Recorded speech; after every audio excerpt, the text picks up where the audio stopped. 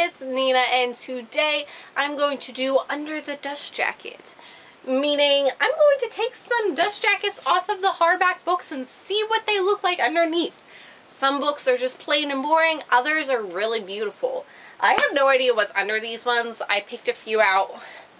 I've never taken the dust jacket off really, so uh, this is a surprise for both of us. Let's get started. First I have Amelia Anna's Dead and Gone by Kate Rosenfield. Ooh, I like this color. Ooh, I do like this actually.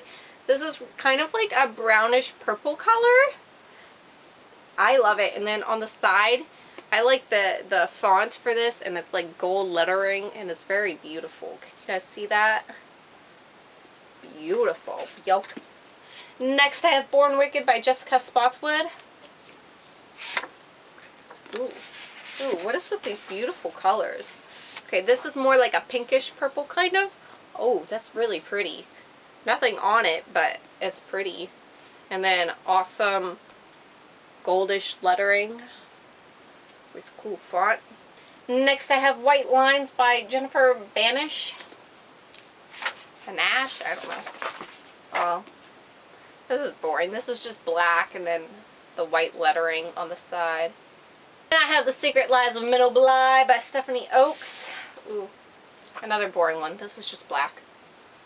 It has white lettering also. Okay. Got this one that I don't know how you say this girl's name. Althea and Oliver by Christina Moranco. Oh my god, I'm so bad at pronouncing things. Let's just take this off. Oh. I keep picking boring ones. Okay, this is nice because I don't know if you can see it, but they have an indent with the ant sign.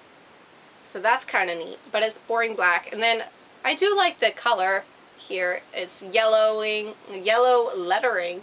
The Steelers go Pittsburgh. Woo! I actually don't follow sports, so whatever.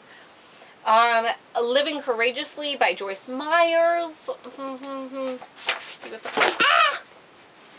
Fuck, I just crushed some dust jackets. Okay, this is boring. This is just white with like silver lettering. I kind of like the silver lettering, but like, why do none of these have like pretty things? Next I have Miss Mayhem by Rachel Hawkins. Oh, that's red. It has like gold lettering. None of these have any pretty things on the cover. This is kind of disappointing. I'm so sorry. Let's hope one of these last two do. What Light by Jay Asher.